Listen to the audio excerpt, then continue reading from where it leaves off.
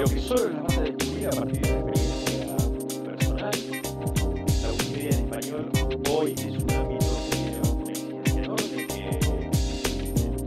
que, vas a encontrar con una eh, Que hay, digamos, una noción distinta acerca de la forma en que se construye conocimiento y del concepto tradicional de autoridad del conocimiento. Estamos eh, participando activamente en el programa porque queremos eh, ofrecer nuestra experiencia en desarrollo de contenido en sitios colaborativos como por ejemplo la conocida enciclopedia Wikipedia y además potenciar el uso de eh, herramientas de valor en el aula como por ejemplo recursos educativos existentes en Wikimedia Commons.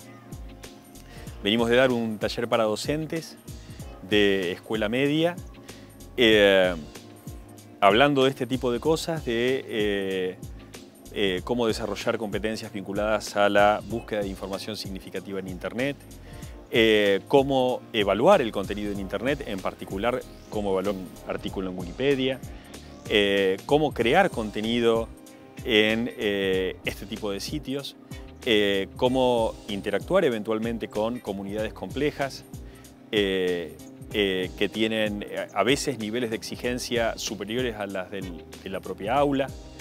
Eh, nos parece sumamente enriquecedor abrir las paredes del aula a comunidades enormes como la comunidad de Wikipedia. Entre algunas características de Wikipedia que en mi opinión son las más valiosas, pero suelen ser las más cuestionadas, eh, está una noción distinta a la noción tradicional sobre la autoridad del conocimiento.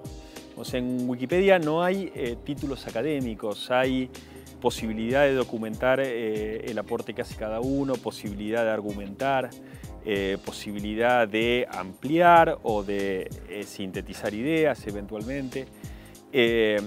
pero de nada vale que uno diga lo que escribí yo está bien porque soy un doctor en no sé qué cosa. Y esta eh, noción no es una noción falsamente igualitaria, sino es la convicción de que cualquier persona puede contribuir. Y la idea no es eh, imponer una falsa noción de igualdad en el terreno del conocimiento, sino al contrario, darle valor a lo que cada persona puede contribuir, porque cualquier persona puede contribuir y Wikipedia misma es la el ejemplo vivo de esto.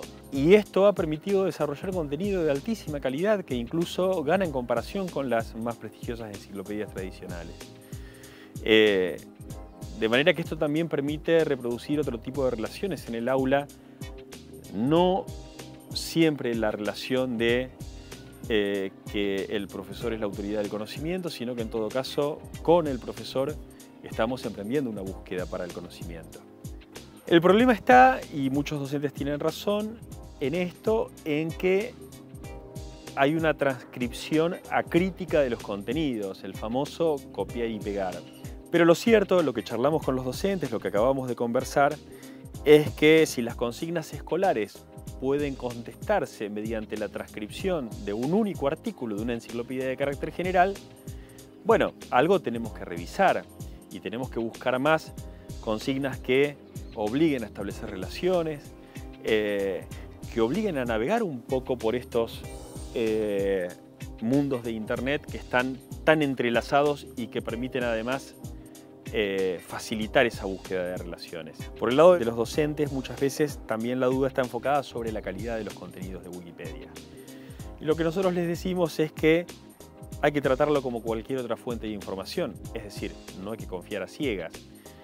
La ventaja que ofrece en particular Wikipedia es que uno puede recorrer toda la historia de un artículo, desde la primera versión hasta la última, y ver qué cambios ocurrieron en el medio, y si alguna de esas ediciones fue malintencionada, y si alguna edición posterior la corrigió. Eh, y este tipo de cosas que además permiten ver con absoluta claridad que en realidad el conocimiento es una construcción social, plural, dinámica, eh, acumulativa, y además esto que decíamos hace un momento, que cualquiera, cualquier persona tiene literalmente algo para contribuir. La inclusión de la tecnología por sí sola no es una forma de democratizar el conocimiento, pero es una condición necesaria. Eh, sin tecnología no sería posible.